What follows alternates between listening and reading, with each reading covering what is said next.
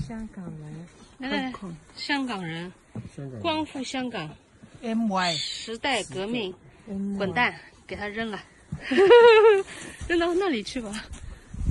好，OK。I'm not trying to be sensationalist. This is a legitimate question. Why shouldn't I burn this portrait of Mao Zedong?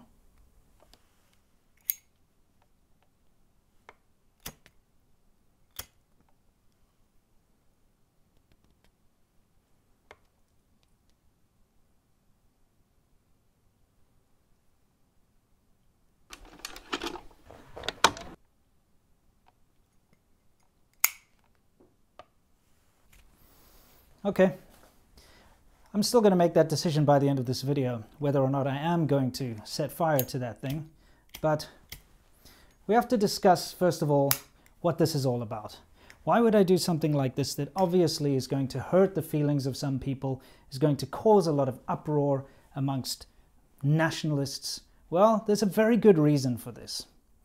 Let's take a look at Mao Zedong and why he is still worshipped in China. It would be foolish to deny just what an impact this one man has had on China. In the beginning, in a more positive way, at least according to most Chinese people I speak to, he is responsible for the new China. He is the person who's responsible for creating the People's Republic of China and getting the Communist Party to take over and become the all powerful leaders of the country. And this is something that's often used to basically tell everybody how great he is. China wouldn't exist the way it is today if it wasn't for him. But yes, that's true. China wouldn't exist in the way it is today if it wasn't for him. All the bad parts of China would not exist the way they are today if it wasn't for him because him and his policies led to the mass famine, starvation, and death of tens of millions of Chinese people, if not more. He is worse than Stalin and Hitler combined when it comes to just deaths and horrible, horrible sort of situations. Now, we can go through and we can do a character assassination of Mao if we want. I mean, it's very easy. I've got a lot of archival footage. There's a lot of historical documents that we can look at. We can just go and interview Chinese people who lived through the Great Leap Backward, and the Cultural Devolution, the kind of people that were ratting their parents out to the government in order to curry favor with the Communist Party, the kind of people who were responsible for their teachers being beaten to death and being put through struggle sessions. It's all out there, we can do it. The fact that this man decided that killing all of the sparrows was a good idea. He made everybody go out and kill sparrows and beat drums and make sure they couldn't land so they all died of you know exhaustion etc etc which of course not having sparrows around allowed locusts to move in and resulted in terrible famines. Of course it was too late when he realized and he changed it from sparrows to bedbugs let's go kill bedbugs instead of sparrows. Well well done. You've really made a great piece of progress right there. Same guy who has done terrible things, and there's a lot out there. Like I said, this is not a character assassination of this man. He's done it for himself, and anyone who wants to read up on Mao Zedong can freely do so in their spare time. But why is it that I'm threatening to burn this? Well, it's all about respect. I lived in China for 14 and a half years. And everywhere I went in China, especially in the more rural areas, you would see pictures of this man on the walls of shops, on the walls of people's homes, on the money. He's still on the money. This guy who's responsible for so much death and, you know, depravity is still worshipped as being a great man in China. And I really couldn't understand it at first. You know, you go out in the countryside and there you have a guy who has very proudly showing his Mao Zedong on the wall, or you're in a taxi and a taxi driver has a medallion of Mao Zedong hanging from the rearview mirror. And it's because the Communist Party is very good at brainwashing people. And I don't want to use this word brainwashing lightly. I know it's a very easy term to say, oh, people are brainwashed.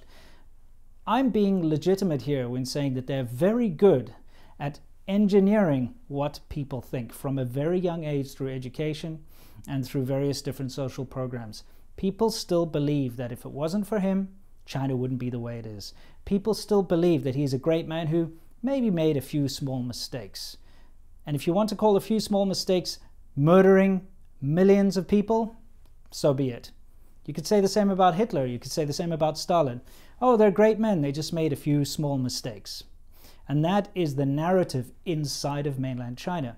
Now, a lot of the times when you see people hanging these medallions and these things on their wall, I do believe some of it comes from a point of view of maybe just taking care of their own interests.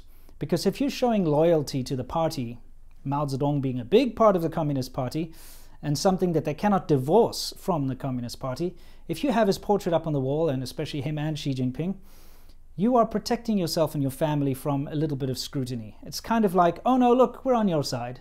It's kind of like those guys who drive around wearing a big American flag, the thin blue line thing, you know, and speed around. And if they get pulled over by the cops, they're like, oh, don't worry, I'm on your side. See, you know, I'm, I support you guys. I wear a thin blue line. It's a kind of like that. It's like if they ever get into trouble and the local authorities come to their shop, they're like, look, I am loyal to the party. Here's a picture of Mao Zedong. So there's a little bit of that going on too.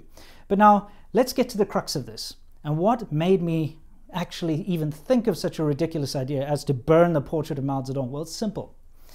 The behavior of mainland nationalist tourists around the world when it comes to things like other people's rights of free speech, very recently, it has surfaced that the Lithuanian Hill of Crosses, which is a very religious site where people go and put down their crosses and their wishes, etc., um, a mainland tourist pulled up a cross that had, you know, Free Hong Kong written on it and, you know, uh, the fight for democracy stuff. Uh, and she picked it up and she threw it away, you know. 看看我们做些什么事情啊！来来来看一下上面是什么东西？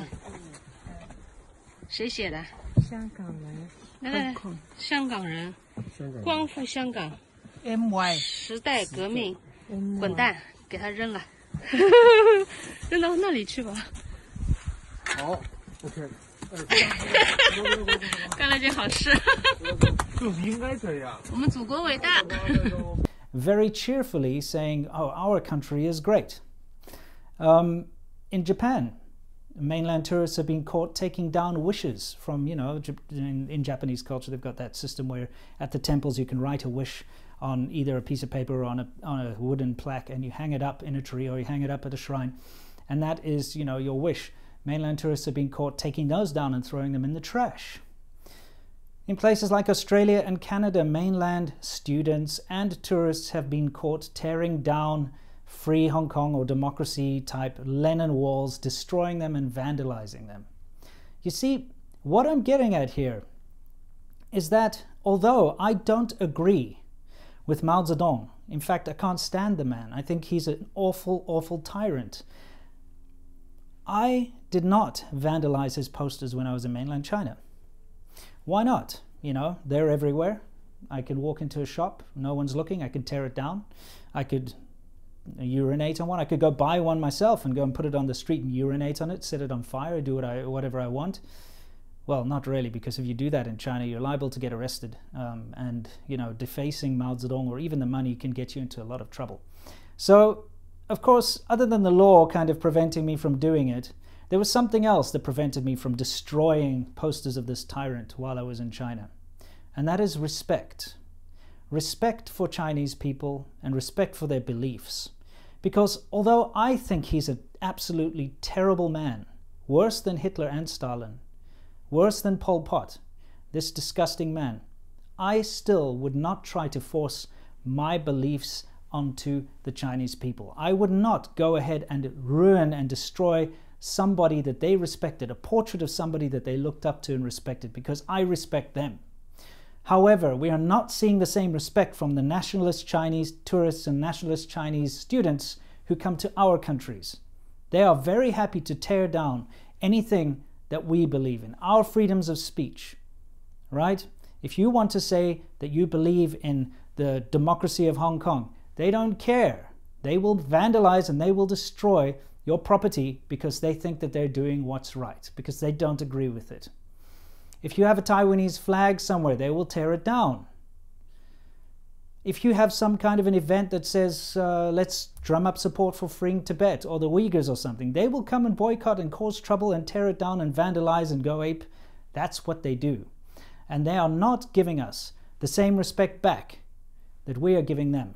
There's a reason why people aren't going around setting these on fire and tearing them apart, and that is respect. And it's about time the nationalist Chinese tourists started giving some of that respect back to the rest of the world. When you are traveling in Australia or Canada or the United States or South Africa or wherever it is you're traveling and you see something that you don't like, for instance, a poster saying, Liberate Hong Kong, Revolution of Our Times, or perhaps something saying, Taiwan is an independent country, guess what? You are not allowed to go and tear it down. You are not allowed to go and vandalize it. If you do, you are breaking the law. Just like I did not go and vandalize your precious Mao Zedong posters when I was in China. That's why I didn't go and damage your propaganda stuff every time I saw it and didn't agree with it in mainland China. This is called respect, and it's something that China needs to learn. So at the end of the day, Am I going to burn this portrait of Mao Zedong? No, I'm not going to burn it. And you all know why. Because I respect my Chinese friends. I respect my Chinese family. And I respect Chinese people and their opinions, at least to a certain degree. And while I do not agree with everything that this man stands for, and why, uh, honestly, if I could have met him in real life, just like most people fantasize about you know, taking out Hitler if they met him in real life, that's something I would have done. At the end of the day, though, because I do respect my Chinese friends, family, and Chinese people, I will not burn this because it's distasteful.